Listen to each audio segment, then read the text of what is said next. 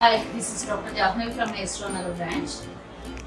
Patient uh, name is Vijay Lakshmi. She came with the chief complaint of uh, missing at posterior tooth, upper posterior tooth.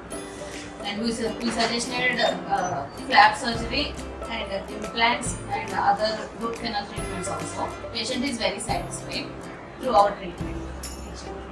Janvi madam చేశారు root canal చేశారు Janhvi madam Vijay sir కూడా ఆ, చాలా నాకు నచ్చింది sir ఇక్కడ.